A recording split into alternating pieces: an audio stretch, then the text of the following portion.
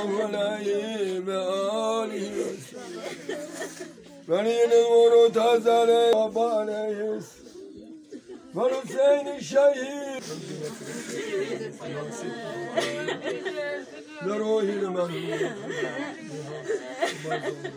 Alim Galatasaray'ın şehitler ölmürler, şehitler Hal-hazırda Tovuz rayonunun Yuxarı Üstü kəndindəyik. Bu gün qəhrəman şəhidlərimizdən olan 44 günlük vətən müharibəsinin qəhrəman şəhidi Allah'ın nimetlerinden Nasib faydalanalım. Yusufovun Allah şəhadətindən 2 il ötür.